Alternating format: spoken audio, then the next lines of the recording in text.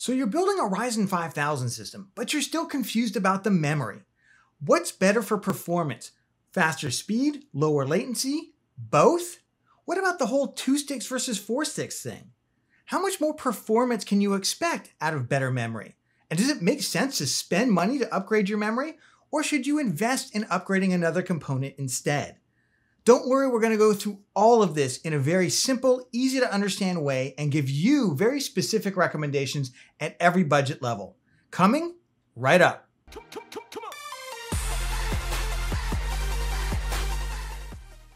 Hi, welcome back to PC Builder. I'm Jason.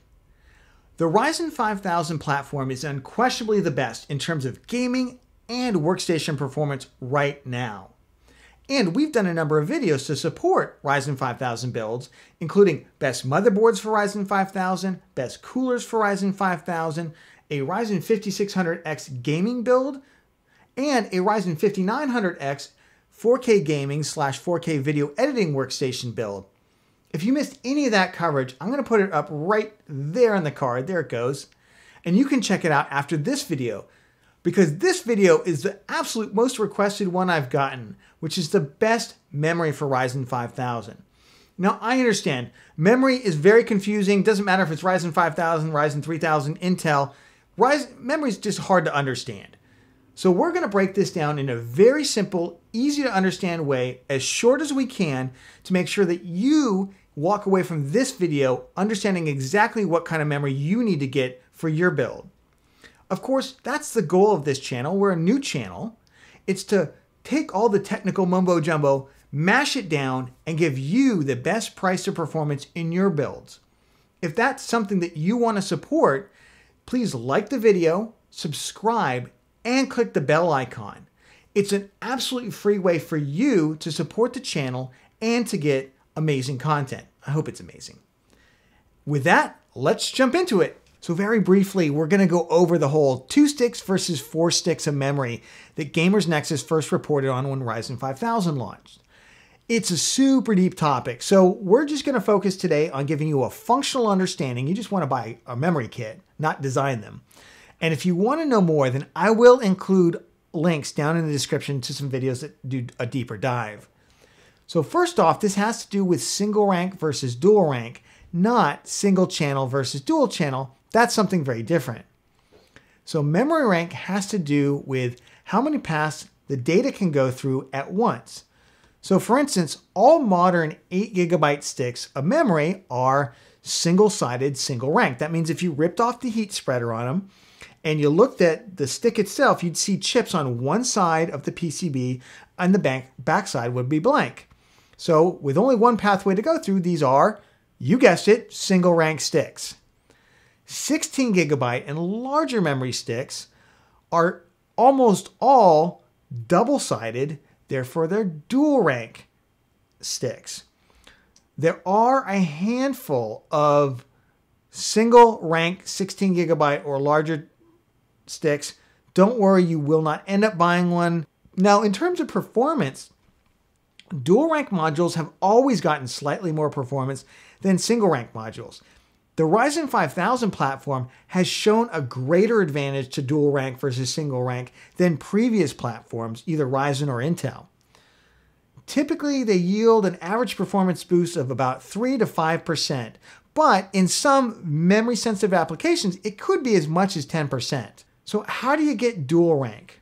So, either you're going to get two sticks of memory that are already dual rank, and that, that's all you need, or you're going to get four sticks that are single rank. And together, they're going to work as though they're dual rank. That means it's only realistic to get dual rank on 32 gigs of memory or more. As all 8 gigabyte chips are single rank, so if you want 16 gigabytes and get two 8 gig chips, that's still, excuse me, sticks, that's still only single rank. And 4 gigabyte sticks are, they're just gone off the market. So don't even don't even try looking for four or 4 gig sticks. They're just gone. So if you want to take advantage of this, you're either going to get, again, two 16 gigabyte sticks or larger, or you're going to get four 8 gigabyte sticks. Simple as that. Now it's time to talk about whether or not you're actually going to see a performance increase from faster memory, lower latency memory, and then we'll get into what memory you're going to want specifically. Well, I've aggregated data from a number of different sources around the web. Tech Yes City did one, Optimum Tech did one, uh, Gamers Nexus did did some stuff, uh, Hardware Canucks just did.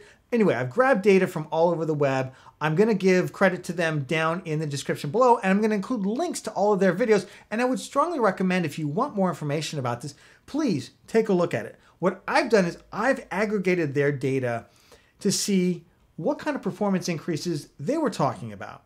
Now, it's important to note in workstation applications, we're talking about anywhere from 3 to 5%.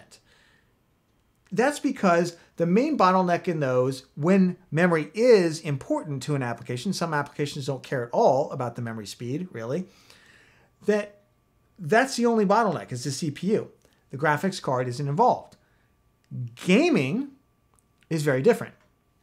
In gaming, you need your CPU only needs to be as good as maximizing your graphics card.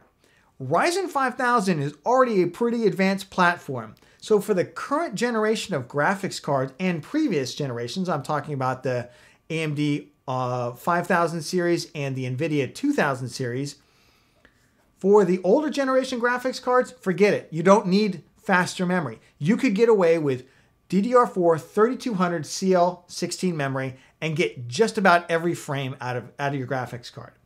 So this is also only pertains to graphics cards that are trying to render huge amounts of frame rates, usually in 1080p performance. So this is situations where you're going to be CPU bound, not GPU bound. If you go up in resolution to 1440p or 4K, forget about it. The memory stop, stops mattering because the bottleneck isn't the CPU and the memory, the bottleneck's the graphics card. So this is actually for gaming, there's only a really narrow window where it really matters what kind of memory you need to get. And that is if you are playing super high 1080p frame rate games with a 3080 or higher graphics card or a AMD 6800 XT or higher graphics card. That's really it. And again, 1080p. Once you bump that up to 1440 or up to uh, 4K, forget about it. The graphics card's now your bottleneck. The memory speed isn't going to matter at all. And when it does matter, it's only mattering 3 to 7%. Again, at 1080p. Just to underscore the gaming performance part of it, I want to show you a little bit of the TechSpot article that uh, Steve from Hardware Unboxed wrote. So you can see right here, we're looking at Shadow of the Tomb Raider. Again, we're talking about 1080p gaming. He's using an RTX 3090. And the differences he's seeing from DDR4 3200 CL16 right here, he gets 170 FPS to the best tune memory, which ended up being DDR4 uh, 3800 CL16. This is a, a manual tune. He got 179 FPS. That's a 9 FPS difference. That's 5.5%. Using an RTX 3090 at 1080p. Who games on a 3090 at 1080p? You would, that's a 1440p card.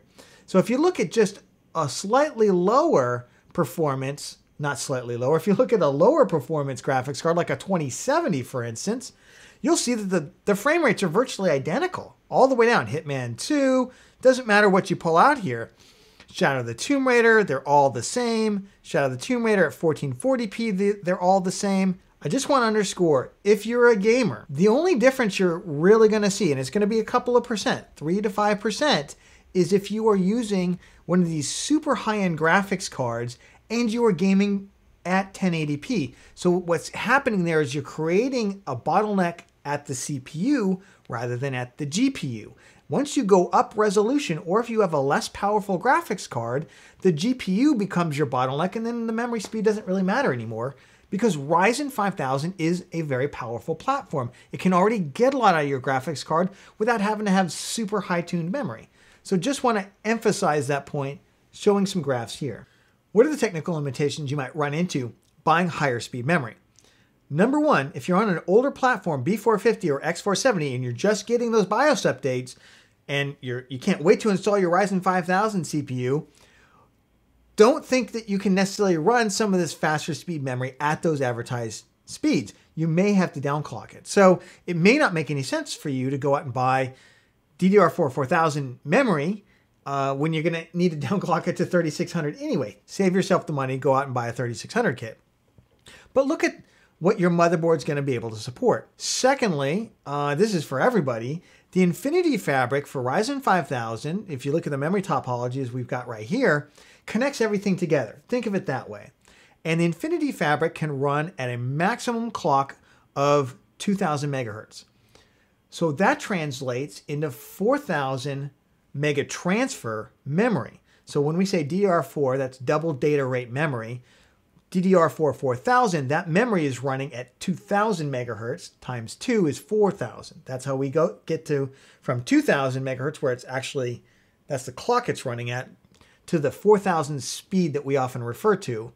I won't bore you to death with the details on that one. But you need that Infinity Fabric and your memory to run at that same speed. So right now, for whatever reason, even with the latest BIOS updates, folks are having a hard time hitting 2000 megahertz on the Infinity Fabric. So they're not able to run DDR4 4000 memory at a one to one ratio right now. So they're downclocking their memory. If you're going to downclock your memory, you might as well buy cheaper memory in the first place, right? So that's just another thing to think about. I do expect AMD is going to iron this out at some point. However, they just haven't yet. So, and we're a couple months into the launch at this point. Now let's go over to thinking about what are the actual memory recommendations we're going to make. All right, let's consider the memory market now because this is probably where most of you will actually have to make a decision because you have this thing called a budget. and whatever you spend on your memory, maybe you can squeeze, you know, maybe you can up your budget a little bit. Um, there's probably three kinds of people, right? There's the people who are just going to spend whatever it takes to spend because they got the money and they're they're dedicated to it. Then there's people who are a little bit more in the middle, and those folks, you know, they don't mind stretching their budget a little bit if it's going to get them some performance. And then you got folks who if they're going to spend more money on the memory, it's going to come out of something else in the system. They're not their budget is not really fungible. Then of course you got all the folks who are just watching this video either for fun or they're just thinking about building right now and they're not even considering their budget. But let's consider budget. If you want that 3 to 5% uh, that we've been talking about, and you don't have any objection to spending whatever it takes, DDR4 4000 CL16 memory is available, dual rank, that means 32 gigabyte kit for $270. I'll go actually through the kits themselves. There will be links down in the description. You don't have to write all this down. I will put the I will list all the timings and the speeds on um, with the links themselves. But let's take a look at the overall cost. So if we assume our system is going to cost about $1,500. Now, if your system costs more, adjust. If we assume this is a $1,500 system because we're putting a 3080 Ti in it, maybe we've got a Ryzen 5600X, that is 11% the difference between DDR4 3200 at that same speed, uh, CL16, excuse me, and the 4000 speed memory, that's $160. That's 11% of our overall system is just going to go into stepping up that memory for that 3 to 5%. Well, what could you do with 160 bucks? Instead, you could uh, again, if you unlimited budget, you don't care about this, but for the folks who are more in the middle or on the end of this, you could get a better graphics card. You could go from a 3060 Ti to a 3070. You might be able to stretch from a 3070 to a 3080 you might be able to stretch from a 3070 to a, you know, a RX 6800 XT. Consider what you might be able to get in place of that. You might be able to get more storage. You might be able to get a better case. You might be able to add a whole bunch of cool RGB to it. So consider the size of the increase, again, 3 to 5% with the size of the cost. Now let's go through these kits and I'll, rec- I'll jump through each kit and I'll make recommendations for every budget level. So let's start with you 3% out there who just, you got the money, you're dedicated to just getting the best, you don't care uh, in terms of, you know, price to performance, you just want performance, period. Here you go, 16 gigabytes, G Skills Ripjaws, DDR4 4000 CL16 at Newegg, $134 for 16 gigabytes. Now, remember, you won't get this as um, dual rank. So if you want dual rank, you're going to need to jump up. Now you can either just go ahead and buy two of these kits, that'd be $168, or you can buy, that would give you four 8 gigabyte sticks, or you can buy this kit, which is two 16 gigabyte sticks for $270. To me, that's more money than I care to spend on memory. And I think that's probably, but again, this is for the 3%. Now let's jump down to the kind of more middle range. People who might be thinking about stretching their budget a little bit in order to grab a little bit of performance. DDR4 3600 CL16 memory. Now this is a 32 gigabyte kit because again we're going to get the dual channel on this. Uh, excuse me, the dual, uh, the dual rank. See, see how easy that is for $160, $155 here. That's not a bad price whatsoever for 32 gigs at this speed at this latency, and because it's much better memory, you may even be able to tighten these timings up further. Again, we're just talking about dumping something in its stock. For those of you who are going to tighten timings up, the better memory you get, the easier it is to do that. Similarly, if you don't, if that's a little too rich for your blood, but you still want to get slightly faster memory, you can get a kit more like the DDR4 3600 CL18, and you may be able to tighten these timings up to CL16 for only 120 bucks. So you can see as you step down, you're going less and less and less. Now, frankly, for those of you who just want the base level of performance and you don't really care about stretching your budget, you just have to hit something and you're thinking, well, maybe I should spend the money on my graphics card instead. There is absolutely nothing wrong with getting a 16 or 32 gigabyte kit that's DDR4 3200 CL16, just like the kit I'm looking at right here at Amazon for $110 for 32 gigs of memory. That's a great price. Comes in a bunch of different colors. This is a Team Group module. And again, if you just want 16 gigs of memory at that same speed, 60 bucks is all it takes. Uh, here's a Team Force Vulcan one. I never know how to say these folks. I know it's supposed to be YOLO. I always read it as Oloy. I can't help myself. So I'll list these out, but I would say the sweet spot is for folks who are super budget constrained, don't think twice about getting DDR4 3200 CL16 memory, either 16 gigs or 32 gigs. You're not going to see a huge difference. Spend the money in other places. For those of you who are already spending the money in other places and you don't mind spending another, you know, 3 to 5% of your overall budget on the memory to get maybe a little bit less performance than that, DDR4 3600 CL16 is where you're at. And for those of you who just don't care about budget, you got the money, DDR4, 4000 memory. You might have some challenges getting the timings, but I'm gonna get I'm guessing you're also buying a very nice motherboard where you're not gonna have any of those issues. So that's probably where you want to end up. And again, links to all these are going to be down in the description. That's the video. If you got value out of it, please remember to give it a like. And of course, if you enjoy this kind of content and you want to support it, we're a new channel. Please remember to subscribe and click the bell icon. I just wanted to say thank you so much to everybody because we are about to hit 5,000 subscribers as I film this video. Um, man, a couple months ago, I couldn't even imagine hitting 5,000. So just really, really amazing. Want to thank everybody again. And with that, I will catch you on the next one.